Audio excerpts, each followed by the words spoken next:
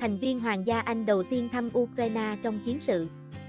Công tước phu nhân xứ Edinburgh thăm Ukraine và gặp Tổng thống Zelensky, là thành viên Hoàng gia Anh đầu tiên đến nước này từ khi chiến sự bùng phát.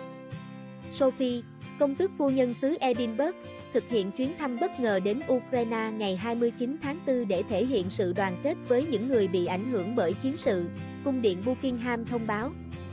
Bà Sophie, 59 tuổi, là vợ của vương tử Edward, em trai út vua Charles. Tôi đã hiểu thêm về tình hình trên thực tế. Tình hình thật đáng buồn, bà Sophie phát biểu ở tư dinh đại sứ Anh tại Ukraine.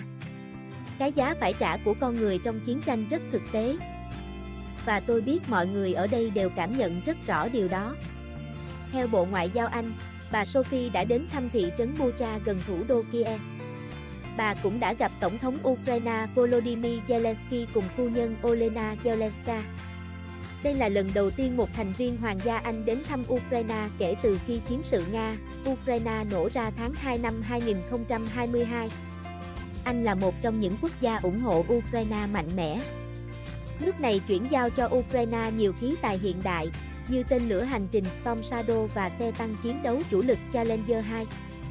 Chính phủ Anh trong hơn 2 năm qua đã viện trợ cho Ukraine khoảng 14,8 tỷ đô la Mỹ, trong đó khoảng 8 6 tỷ đô la Mỹ là viện trợ quốc phòng, phần còn lại là hỗ trợ kinh tế và các vấn đề nhân đạo. Thủ tướng Anh Rishi Sunak tuần trước cam kết thông qua gói viện trợ lớn nhất cho Ukraine với tổng giá trị hơn 3,7 tỷ đô la Mỹ. Các bạn hãy đăng ký kênh để cập nhật thông tin miễn phí mới nhất.